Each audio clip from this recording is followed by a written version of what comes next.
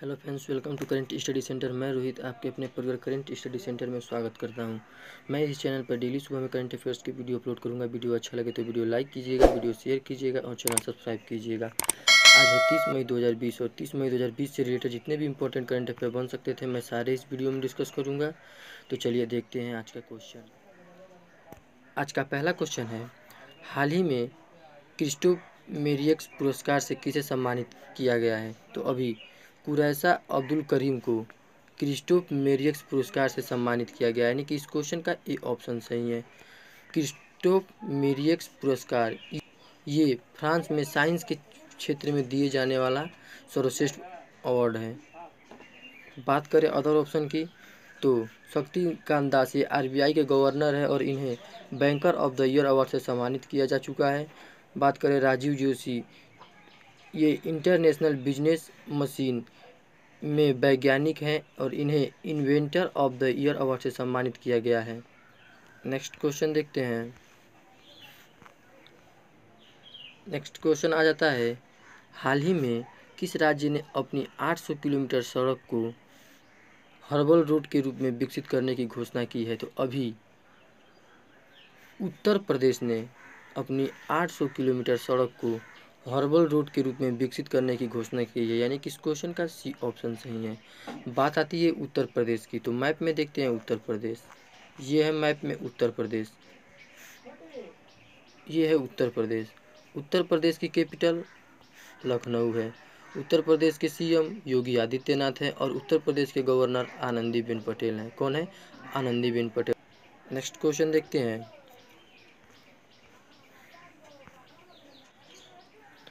Next question आ जाता है। हाल ही में किस राज्य में आयोजित किए जाने वाले छत्तीसवें राष्ट्रीय खेलों को कोविड नाइन्टीन महामारी के कारण अनिश्चित काल तक के लिए स्थगित कर दिया गया है? तो अभी गोवा में आयोजित होने वाला छत्तीसवां राष्ट्रीय खेल कोविड नाइन्टीन महामारी के कारण अनिश्चित काल तक के लिए स्थगित कर दिया गया है। यानी कि इस क्वेश्चन का ए ऑप्शन सही है। बात आती है गोवा की तो मैप में देखते हैं गोवा। ये है मैप में गोवा, जो रेड कलर का दिखाई दे रहा है ये है गोवा। गोवा की कैपिटल पणजी है। गोवा के सीएम प्रमोद सावंत हैं और गोवा के प्रेजेंट टाइम पे गवर्नर सत्यपाल मल्लिक हैं। कौन है? सत्यपाल मल्लिक। और 19 दिसंबर को गोवा मुक्ति दिवस मनाया जाता है और 30 मई को गोवा स्थापना दिवस मनाया जाता है। नेक्स्ट क्वेश्चन देखते हैं।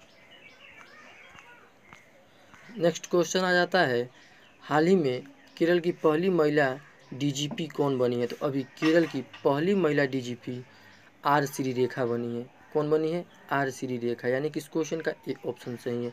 आर श्री रेखा ये 1987 बैच की आई आईपीएस ऑफिसर हैं और ये केरल की पहली महिला आईपीएस हैं। आर श्री रेखा और बात करें नूपुर कुलश्रेष्ठ तो ये इंडियन कोस्ट गार्ड की पहली महिला डीआईजी हैं। कौन है? इंडियन कोस्ट गार्ड की पहली महिला DIG Nupur Kulshreshtha. Next question देखते हैं। नेक्स्ट क्वेश्चन आ जाता है हाल ही में हीरोइन रखने के आरोप में श्रीलंका के किस क्रिकेटर को गिरफ्तारी के बाद निलंबित कर दिया गया है? तो अभी सेहान मधुस्नका को हीरोइन रखने के आरोप में गिरफ्तारी के बाद निलंबित कर दिया गया है। यानी कि इस क्वेश्चन का ये ऑप्शन सही है। ये है सेहान मधुस्नका और इन्हें हीरोइन रखने के आरोप में निलंबित कर दिया गया अभी। और ये श्रीलंका के फास्ट बॉलर हैं। नेक्स्ट क्वेश्चन देखते हैं। नेक्स्ट क्वेश्चन आ जाता है।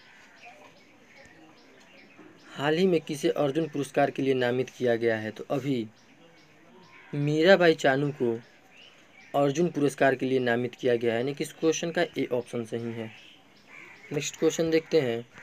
नेक्स्ट क्वेश्चन आ जाता है।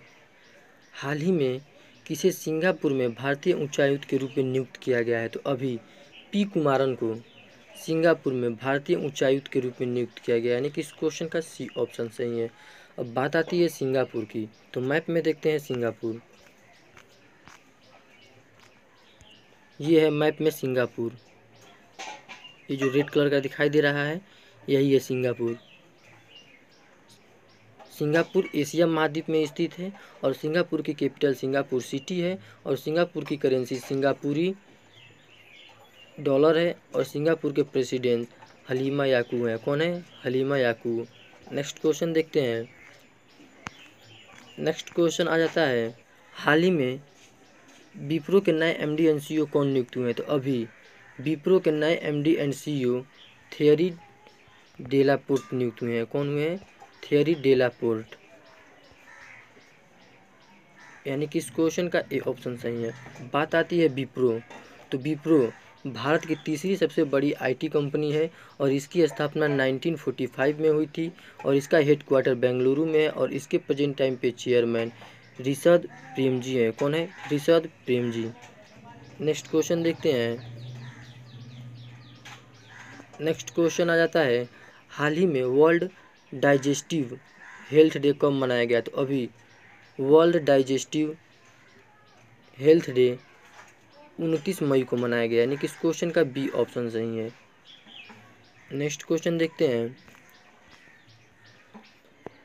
नेक्स्ट क्वेश्चन आ जाता है।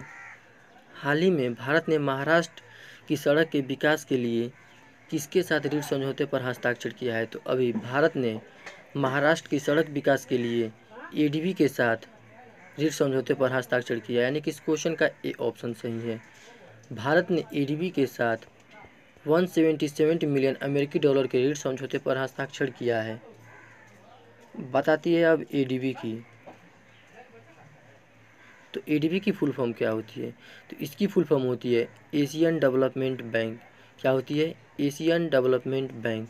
इसकी स्थापना 19 दिसंबर 1966 को हुई थी। कब हुई थी? 19 दिसंबर 1966 को हुई थी। इसका हेडक्वार्टर मनीला में है और मनीला कहाँ है? फिलीपींस में। और इसके प्रेजेंट टाइम पे अध्यक्ष मतास्कू अस्कवा है। कौन है? मतास्कू अस्कवा। अब बात आती है महाराष्ट्र की। तो महाराष्ट्र के बारे में जानते हैं। महाराष्ट्र महाराष्ट्र की कैपिटल मुंबई है। महाराष्ट्र के सीएम उद्धव ठाकरे हैं और महाराष्ट्र के गवर्नर भगत सिंह कोश्यारी हैं। कौन है? भगत सिंह कोश्यारी। नेक्स्ट क्वेश्चन देखते हैं। नेक्स्ट क्वेश्चन आ जाता है। हाल ही में फीफा ने किसके साथ मिलकर सेफ़ होम अभियान लॉन्च किया है? तो अभी फीफा ने डब्ल्यू के साथ मिलकर सेफ़ होम अभियान लॉन्च किया है। यानी कि इस क्वेश्चन का ए ऑप्शन सही है। बात आती है डब्ल्यूएचओ की तो इसकी फुल फॉर्म क्या होती है? डब्ल्यूएचओ, यानी कि वर्ल्ड हेल्थ ऑर्गेनाइजेशन। क्या होती है? World health organisation. इसकी स्थापना 1948 को हुई थी। कब हुई थी? 1948 को हुई थी और इसका हेड क्वार्टर जेनेवा में है और इसके प्रेजेंट टाइम पे हेड टेड्रोस अधानो के वेरियस हैं। कौन है? टेड्रोस अधानो के वेरियस नेक्स्ट क्वेश्चन देखते हैं। नेक्स्ट क्वेश्चन आ जाता है। हाल ही में किस देश में भारतीय पुरातत्व सर्वेक्षण यानी कि एएसआई को 1100 साल पुराना शिवलिंग मिला है तो अभी भारतीय पुरातत्व सर्वेक्षण यानी कि A S archaeological survey of India को 1100 साल पुराना वियतनाम में एक शिवलिंग मिला है, यानी कि इस क्वेश्चन का ए ऑप्शन सही है।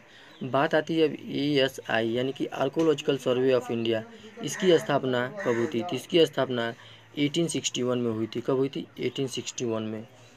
तो ये थे आज के कुछ इंपॉर्टेंट करंट अफेयर्स अगर आपको वीडियो अच्छा लगा हो तो वीडियो लाइक कीजिएगा, वीडियो शेयर कीजिएगा और सब्सक्राइब